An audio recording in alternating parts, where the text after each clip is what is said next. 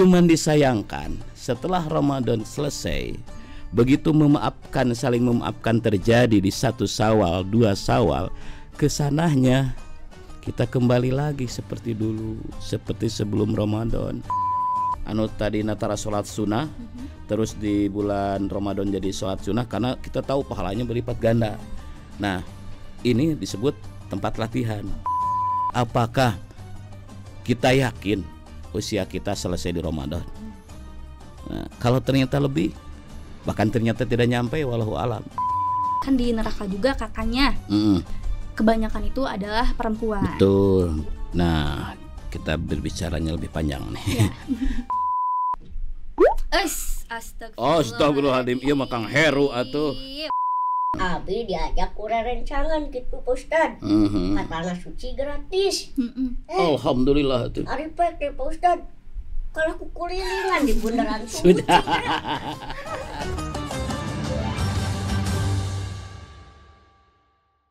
Halo Pak Ustadz, Assalamualaikum. Waalaikumsalam warahmatullahi wabarakatuh. Pak Halo Ustadz, Sasa. kita ketemu lagi ya hari ini. Kemarin kita ketemu di episode 1 ngebahas tentang puasa juga. Iya, betul betul betul betul. Aku mau nanya nih Pak Ustadz karena ini masih berkaitan dengan bulan Ramadan. Mhm, mhm. Jadi pertanyaannya tidak jauh dengan apa aja yang mau aku sampaikan di bulan Ramadan. Eh, bulan puasa itu kan salah satu bulan yang paling istimewa betul di betul tahun betul betul. setiap tahunnya, terutama di agama kita. Iya. Nah, yang mau aku tanya itu kenapa bulan puasa itu adanya satu tahun sekali gitu. Hmm. Terus kenapa Allah tuh ciptain bulan istimewa itu hanya di bulan Ramadan saja, bukan bulan istimewa tapi lebih istimewa itu di bulan puasa. Hmm. Itu bagaimana? Ya kalau itu sih pertanyaan kenapa bulan Ramadan itu cuma satu gitu ya? Hmm. Ya bulan yang lain juga satu kan itu ya. Hmm. Eh, Syawal, Zulqa'dah, Zulhijjah satu dan itu pun dari eh, jauh dari eh, masa-masa sebelum zaman Rasulullah pun bulan itu udah ada. Cuman baru dikasih nama dan digenapkan atau didetilkan pada saat zaman-zaman Rasulullah ketika setelah hijrah maka dinamain bulan Hijriah kan gitu. Ah, itu. Kemudian bulan yang dimuliakan atau bulan yang diistimewakan itu sebenarnya juga tidak satu, tapi ada bulan-bulan lain seperti bulan Zulhijjah, terus juga ada mm, bulan Rajab, bulan Sa'ban dan bulan Ramadan. Nah, itu. jadi keempat bulan ini adalah bulan-bulan yang istimewa, yang di mana di situ memiliki keistimewaannya masing-masing. Nah, salah satunya di bulan Ramadan ini dibilang bulan yang paling istimewa karena di bulan Ramadan ini adalah dibukakannya rahmat Allah betapa besar, sangat besar. Disebut juga bulan Ramadan ini bulan pembebasan atau bulan maghfirah, bulan penuh rahmat dan di 10 terakhir disebut bulan pembebasan dari neraka. Maka para ulama membagi bulan Ramadan ini dalam tiga bagian, yaitu 10 hari pertama, 10 hari kedua, dan 10 hari ketiga. Nah, nah hal ini sebenarnya selaras sekali dengan firman Allah Subhanahu wa taala. Karena Allah itu Maha Pengampun, Allah itu Maha Rahman, Allah itu Maha Rahim. Maka di bulan ini dijadikannya bulan kawah chandra di mukanya umat Islam untuk apa? Untuk menggapai rahmat Allah, menggapai ampunan Allah. Sebagaimana salah satu firman-Nya di dalam Al-Qur'an surat Al-Imran ayat ke-133. A'udzu billahi minasyaitonir rajim. Bismillahirrahmanirrahim. Wasari'u illa maghfiratin min rabbikum wa zannata arduas samawati wal ar uiddat lil muttaqin. Nah, jadi bersegeralah untuk mendapatkan ampunan dari Tuhanmu. Surga yang luasnya seluas langit dan bumi Allah ciptakan buat orang-orang yang takwa. Jadi ampunan Allah ini sangat diistimewakan di bulan Ramadan. Maka di bulan Ramadan ini kita semua berlomba. Berlomba-lomba membuat kebaikan, berlomba-lomba men- menahan diri, Bahkan kalau tidak salah di salah satu podcast saya disebutkan salah uh, ada tiga ciri uh, penghuni sorga. Nah ini bisa digapai disempurnakan di bulan Ramadan, yaitu ayat yang selanjutnya dari surat Al Imran ayat ke 134 wasari'u illa magfiratim mir rabbikum wa jannatu arduas samawati wal ar'idat lil muttaqin alladzina yunfikuna fis sarai wad dharai wal kadibina ghaidan wal afina aninas. Nah, implementasi dari ayat itu itu bisa kita implementasikan di bulan Ramadan. Di bulan Ramadan ini kita berlomba. Kalau di bulan lain-lain itu susah. Ya. Karena salah satunya gini. Alladzina yunfikuna fis sarai wa dharai orang yang takwa itu adalah orang-orang yang gemar bersedekah. Nah, coba salsa perhatikan. Di bulan Ramadan semua berlomba. Yang nyiapin takjil, yang berbagi takjil baik di jalanan, di kantor-kantor dan itu tidak ditemukan di bulan-bulan lain. Gitu. Nah, di bulan Ramadan semua berlomba karena tahu bulan Ramadan itu adalah bulan penuh magfirah, bulan penuh ampunan. Nah, ternyata implementasi ayat ini ternyata ada di bulan Ramadan. Kemudian di bulan Ramadan juga kita sama semua berlomba untuk mengekang diri menahan hawa nafsu baik syahwat maupun hawa nafsunya.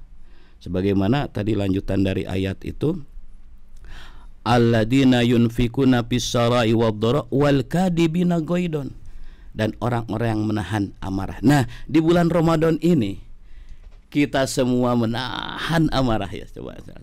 Mau marah, aduh lagi puasa. Mau marah anda soimun ya kan? Saya sedang berpuasa. Betapa indahnya itu bulan Ramadan. Karena disebutlah bulan yang sangat istimewa sangat indah. Karena di situ kita berlomba. Kemudian wal afina aninas dan memaafkan kesalahan orang lain. Itu pun juga terjadi di bulan Ramadan. Di bulan Ramadan di akhir Ramadan menjelang Idul Fitri kita semua bersalaman memaafkan sampai ayat ada lagunya ya kan saya selamat apa gimana? Gimana sih Oh, yang selamat. Ah, selamat hari lebaran minal aizin wal faidin kan gitu. Kang Mamat. Eh salah. Kan Kang Mamat. Nanti si Kang Mamat ada ada Kang Mamat. Ya Ramadan gini. Jadi di bulan Ramadan ini eh, hemat saya menurut analisa saya implementasi dari dari ayat-ayat Al-Qur'an itu banyak terjadi di bulan Ramadan ini. Cuman disayangkan setelah Ramadan selesai begitu memaafkan saling memaafkan terjadi di satu Sawal, dua Sawal, kesanahnya kita kembali lagi seperti dulu, seperti sebelum Ramadan yang tadinya eh, waktu Ramadan suka mengimpakkan hartanya untuk tajil. Sekarang ketika di bulan di luar Ramadan sulit banyak orang kelaparan dan segala macam susah. nggak ada lagi yang membagikan makanan, jarang yang membagikan makanan di jalan-jalan ya. Tapi di bulan Ramadan tuh banyak entah itu partai politik, entah itu per perorangan, entah itu lembaga di bulan Ramadan itu berlomba semua. Maka ayatnya kan disebut wasari'u illa magfir berlomba-lomba untuk mendapatkan ampunan Allah. Nah itu. Oke. Gitu, oke, Sa, kira-kira. Sangat detail banget ya. Heeh. Nah, selanjutnya aku mau nanya nih Pak Ustadz. Hmm. Dalam konteks hal tadi karena kita itu harus berlomba di bulan Mhm. Ramadan. Berarti dengan tidak langsung pahala-pahala ki- pahala kita itu bakal dilipat gandakan. Betul, betul, Iya. betul. Nah, apakah uh, semua amalan kebaikan kita itu akan dilipat gandakan? Semisal setahu uh, saya waktu ngaji itu Ustadz, Hmm. ketika kita uh, kebaikan seperti apa namanya? baik kepada orang, Hmm, hmm, hmm. terus misalkan ngaji bahkan satu ayat pun itu bisa berlipat ganda. Betul, betul. Nah, semisal yang mau aku tanyain, kalau semisal kita sholat, karena sholat udah kewajiban ya Pak Ustadz, Hmm, apakah pahala kita sholat itu akan dilipat gandakan juga atau tidak? Kalau pahala ya semuanya termasuk sholat itu kan dilipat gandakan dalam Oke. si pahalanya oleh Allah. Eh, kalau di hari-hari biasa kan kita eh, tidak ada istilahnya eh, pahala dari sholat tarawih dan lain Iya. sebagainya. Nah di sini kita ada. Kemudian juga pahala-pahala amalan-amalan itu berlipat ganda Karena Allah betapa rahman dan rahimnya terhadap umatnya. Nah di bulan Ramadan ini maka disebut bulan Ramadan ini adalah kawacan dari muka tempat berlatih. Hmm. Jadi kita melatih diri, melatih eh, dalam artian gini, di bulan Ramadan kita beribadah karena harapannya karena setiap amalan dilipat gandakan oleh Allah. Nah, ke depannya di bulan Syawal, Zulqa'dah, Zulhijjah, bagaimana kita kita bisa mempertahankan itu sementara pahalanya standar anggaplah gitu standar. Nah, nah di sini kan masalah istiqomah. Istiqomahnya kan gitu. Masih mending kalau sampai lagi kepada Ramadan tahun depan. Kalau tidak bagaimana kan gitu. Nah, dalam artian eh, dalam ayat ini disebut kita harus berlomba itu bukan saja di bulan Ramadan, tapi di setiap bulan apa pun. Nah, bulan Ramadan ini emang diistimewakan karena di bulan Ramadan adalah disebut kawah candran muka atau tempat menempa kita berbuat baik, tempat menempa kita menahan amarah. Karena ada kekangan, ada imbalan. Kalau kita bisa berbuat anu tadi natara sholat sunnah, terus di bulan Ramadan jadi sholat sunnah karena kita tahu pahalanya berlipat ganda. Nah, ini disebut tempat latihan. Oke. Bagaimana setelah bulan Ramadan selesai kita bisa mempertahankan itu. Nah, itu. Nah, tugasnya tinggal kembali kepada diri kita. Apakah kita yakin usia kita selesai di Ramadan? Nah, kalau ternyata lebih, bahkan ternyata tidak nyampe, walau alam, maka di sini Allah sangat mengistimewakan dan memuliakan orang-orang yang beristiqomah. Jadi doa ibadah yang me- mendapatkan eh, predikat nilai lebihnya itu ketika beristiqomah. Istiqomah itu terus menerus melakukan. Itu. Jadi tidak hanya sesaat, tidak hanya sekedar lagi berlomba, tidak tidak sekedar pas bulan Ramadan, tapi di bulan lain tetap beristiqomah kan gitu. Oke baik Pak Ustadz, aku mau nanya lagi. Tadi perihal pahala ya. Hmm, Nah kalau semisal aku sekarang angkat pembahasan dosa, hmm, di mana kalau kita melakukan kebaikan di bulan Ramadan itu akan dilipat gandakan. hmm. Nah kalau misalkan dalam konteksnya membuat dosa gitulah, kita tuh meninggalkan, eh, misalnya tidur kelamaan, lupa tidak sholat, terus Hmm. membicarakan orang, orang lain, intinya membuat dosa. Apakah dosanya itu akan dilipat gandakan juga atau standar aja gitu? Kalau sepengetahuan saya, tapi nggak tahu mungkin para alim udah lebih tahu. Tapi sepengetahuan saya sampai saat ini ya, mungkin besok lain lagi pengetahuannya ya. sepengetahuan saya sampai saat ini untuk masalah dosa ini emang eh, jadi kalau tidak dilipat gandakan tapi jadi berantai. Nah, jadi gini, ketika kita misalkan eh, anggaplah lu- lupa niat salah satunya yang penting iya. lupa niat, tidak niat, dan ternyata dosanya adalah kita dianggap tidak berpuasa. Iya. Nah, gitu. Kemudian juga misalkan kita sengaja godin. Nah, ketika sengaja pun sama kita dianggap udah jelas lah batal puasanya dan itu dosa Iya. kan itu. Nah, kemudian apalagi misalkan tidak melaksanakan sholatnya, terus juga tidak beramal baik yang lain, untuk apalagi sampai melakukan kemaksiatan Iya. gitu ya hukumnya tetap kan gitu yang jelas sangat disayangkan ketika bulan yang penuh hikmah bulan yang penuh ampunan yang bulan yang penuh rahmat dari Allah ini dibiarkan sia-sia jadi kasarnya gini kita dikasih hadiah nih Iya. ini ada air minum nih Sa, nih ini airnya madu silakan salsa minum terus salsa tidak mau minumnya Iya. kan sia-sia. Tapi kalau diminum oleh salsa nih air madu sudah segar, sehat, kan gitu. Nah seperti itu. Nah yang mau aku tanyain Pak Ustadz, eh, gimana hukuman Hmm. Bagi orang yang sengaja membatalkan puasa gitu? Kalau semisal yang aku pahami dari guru-guruku waktu Hmm. itu di ibarat kata kalau misal perempuan tidak menutup dirinya, tidak menutup auratnya, rambutnya akan digantung di neraka, kan di neraka juga katanya. Mm-mm. Kebanyakan itu adalah perempuan. Betul, gitu betul. ada dimulai dari tidak menutup auratnya Mm-mm. melakukan hal yang tidak baik Mm-mm. tidak patuh kepada orang tua dan suaminya Mm-mm. gitu. Nah, mau aku tanyain sekarang hukuman apa yang nantinya Allah berikan kepada orang-orang yang sengaja membatalkan puasa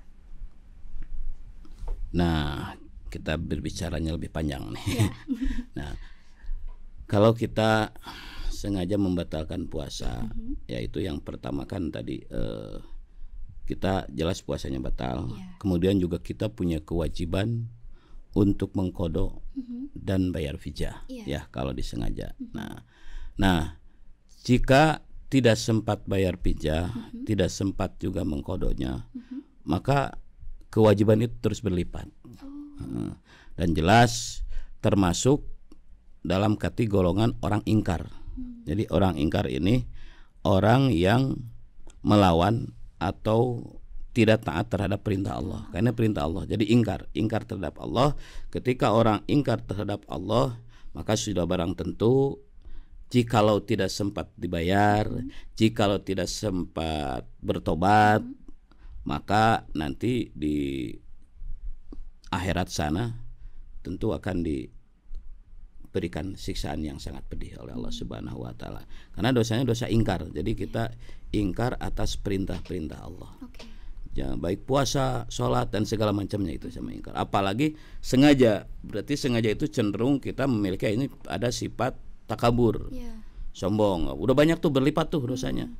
Dari puasanya, dari sombongnya, dari takaburnya kan gitu. Ya itu mah tinggal siap menantikan siksaan yang pedih aja nanti kan gitu. Kalau tidak sempat. Tapi jangan khawatir karena tadi Allah itu Maha Rahman Maha Rahim. Selama kita masih bisa bertobat, Iya. selama kita masih minta ampun pada Allah, segeralah kita minta ampun. Makanya jangan ditunda-tunda kan ada lagunya. Hmm. Gimana Pak Ustadz? Jadi apa namanya? Bertobat jangan ditunda-tunda kayak gitu ya. Saya nggak hafal tuh lagunya kayak gitu. apa ya. Nanti kita cari tahu ya. Eh, Berbuat jangan nanti. ditunda cari ya Iya. gitu. Jadi kita jangan ditunda. Ketika ada waktu kita bertobat, segeralah bertobat. Iya. Kapan waktu bertobat? Setiap saat. Mhm. Nah, tapi kembali lagi nih sedikit bahwa manus- manusia oleh Allah diciptakan sebagai makhluk yang sempurna. Laqad khalaqnal insana fi ahsani taqwim. Nah, saking sempurnanya manusia ini oleh Allah diberikan akal, syahwat dan hawa nafsu. Iya. Nah, yang termasuk yang godin itu ketika akalnya kalah oleh syahwat. Hayang dahar kan gitu terus kan. Tekau ningali KFC buka Lapar. lapar kan itu siang-siang apalagi wah, makan ingin godin apalagi lupa sahur wah udah pingin godin kan gitu seperti itu. kan gitu. Nah itu ikut syahwat. Iya. Nah udah udah pasti jelas jelas dosa ketika kita mengikuti syahwat. Iya. Karena ketika akal dikendalikan oleh syahwat, maka ini akal akan mengakal-ngakali bagaimana caranya supaya bisa melakukan perbuatan yang dilarang oleh Allah. Iya. Contohnya Godin sembunyi-sembunyi kan dari rumah puasa nih, dari rumah mau puasa. Datang apalagi sekarang ada ada apa? Ada mal-mal baru ya, datang ke situ. nggak ada yang tahu kan, makan. Pergi lagi. Datang ke rumah puasa lagi. Buka ah dosanya udah banyak. Udah berbohong. Ya berbohong sama ya. Hah? Keterusan. keterusan. Jadi sama dosanya itu ketika kita berbohong, satu kali berbohong untuk menutupi kebohongan lain, itu kita dengan kebohongan lagi. Oh. Terus supaya tidak ketemu ditutup lagi dengan kebohongan berikutnya. Jadi ah bohongnya terus. Iya banyak tuh, makanya berantai itu dosanya, makanya hati-hati lah. Tapi kalau tidak tahu ya nggak apa-apa. Tapi kembali lagi kita jangan takut dengan rahmat Allah selama kita masih diberikan nyawa oleh Allah, selama kita masih ada tempat bertobat segeralah bertobat, minta ampun kepada Allah. Mudah-mudahan Allah mengampuni karena ampunan Allah itu tidak akan datang begitu saja, Iya. tapi harus dipinta. Mhm. itu harus dipinta oleh kita ya Allah ampuni. Maka eh, menurut para ulama disebutkan ini keterangan hadisnya saya belum belum hafal pasti tapi yang jelas gini bahasa kitanya. Rasulullah yang telah dimaksum dan kekasih Allah satu satu hari semalamnya beristighfar tidak kurang dari 70 kali bagaimana dengan kita Mhm. makhluk penuh dosa masa sih sulit banget istighfar gitu. Nah ini mungkin bulan Ramadan ini jadikanlah momentum untuk kita hijrah, jadikanlah momentum untuk kita bertobat, jadikanlah momentum untuk kita terus berbuat kebaikan. Karena apa? Wallahu yuhibbul muhsinin. Sesungguhnya Allah menyukai orang-orang yang berbuat kebaikan kan gitu. Sa. Oke. Nah, kurang lebih seperti itu. Cukup jelas ya jawabannya. Nah, sekarang ngomong-ngomong Pak Ustadz, karena tadi bulan Ramadan itu bulan penuh ampunan, Hmm. di mana kita sangat diharuskan dan sangat dianjurkan untuk meminta ampunan kepada Ya, Allah. yang tidak minta ampun bodoh lah kan Sombong itu. ya, Nah, itu. sombong, Sombong. itu. Nah, Parah itu Parah, parah. parah, parah. Tidak Pak Ustadz, parah, parah, parah, parah. Parah itu udah nggak bener. Nah, eh, yang mau aku tanya ini Pak Ustadz, karena bulan Ramadan itu adalah bulan paling istimewa, Hmm.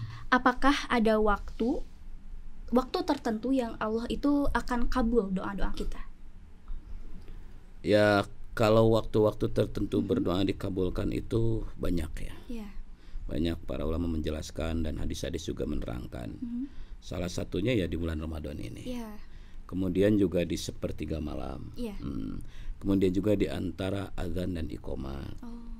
Kemudian juga di antara eh, duduk di antara dua khutbah. Mhm. Jadi kalau buat para laki-laki ketika imam khutbah, kemudian kan ada duduk tuh. Iya. Nah, duduk di antara dua khutbah sebelum berdiri kita berdoa di situ. Nah, itu makomul ijabah. Kemudian tempat-tempat ijabah yang paling dijabah ya di Masjidil Haram, Iya. Masjidil Aqsa, eh, terus Masjidil Nabawi terus berentet. Ada makomil iba- eh, makomil ijabah kan, tempat-tempat yang dijabah. Iya. Nah, masalahnya kan gini.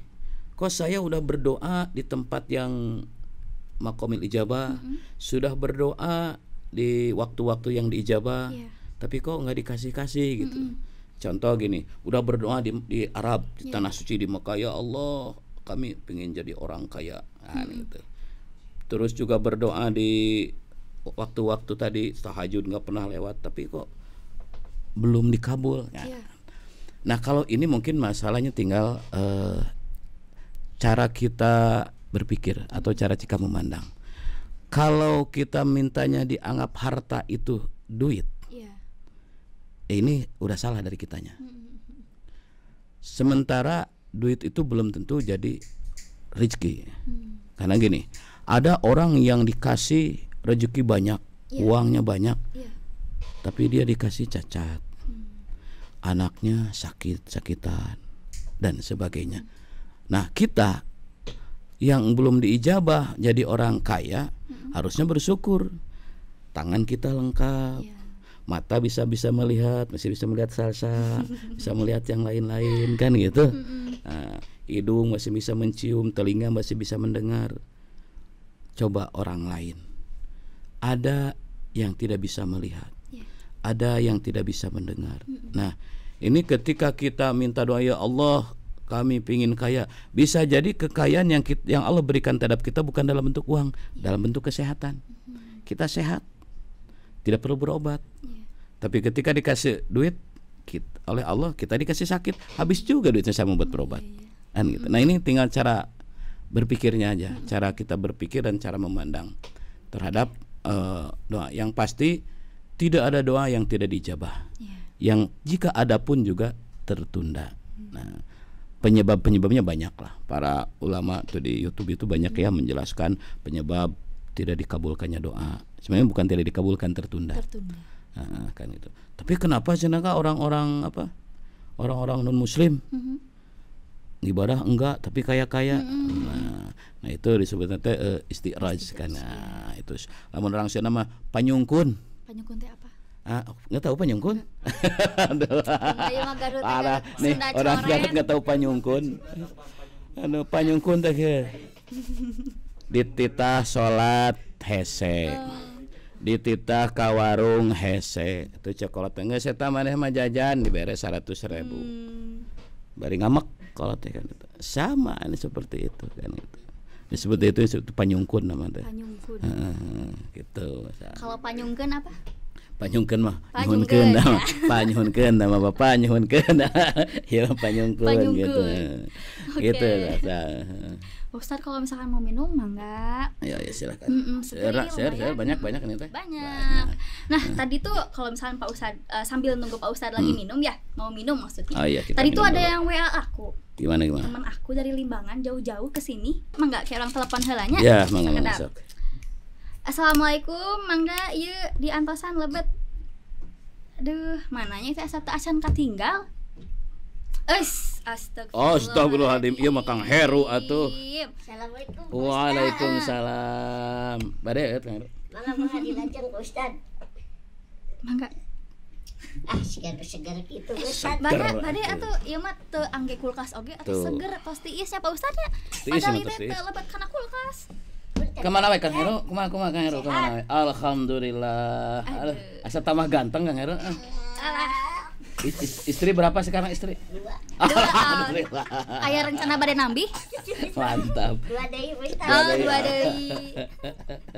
Gimana gimana Kang Heru gimana Punten Pak gimana? Ustaz, bade nafas ya tehnya Mangga. ka Pak Ustaz. Ari ka Mekah teh kenging pahala naon sih?